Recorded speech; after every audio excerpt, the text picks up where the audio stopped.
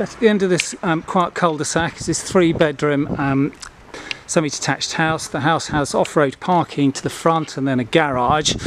Um, if we go through the uh, front door, come through into a uh, good sized hallway.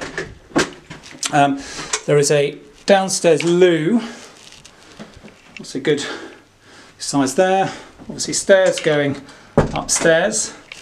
And then we have the door going into the living room, which is a nice sized living room.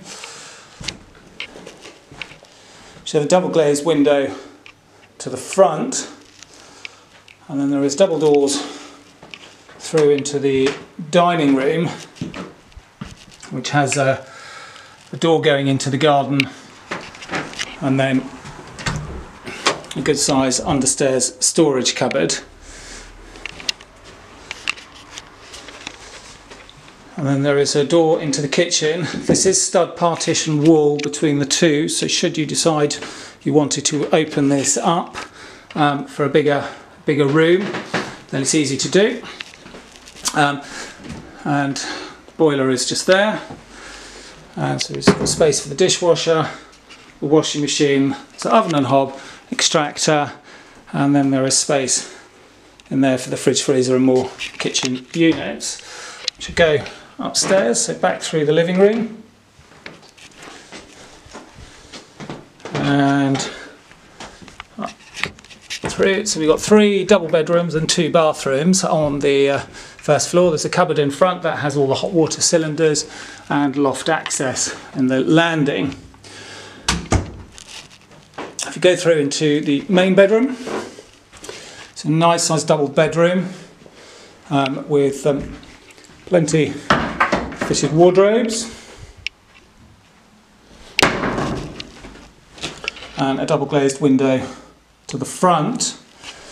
And then there is the door to the ensuite shower room which has a sink, loo, um, shower. And then there is a storage cupboard here and then back into the bedroom,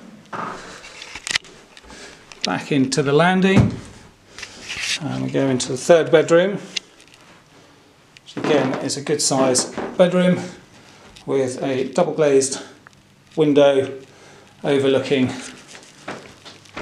the garden.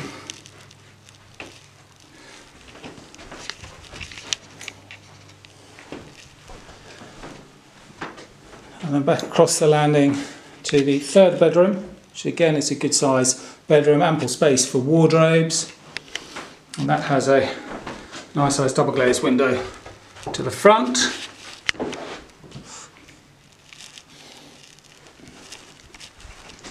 And then through to the family bathroom, which has a sink, loo, and a bath, the wall mounted shower, and a frosted double glazed window to the overlooking the garden. And then we will go back down the stairs,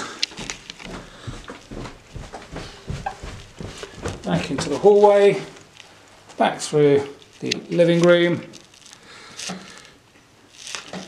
and through the dining room.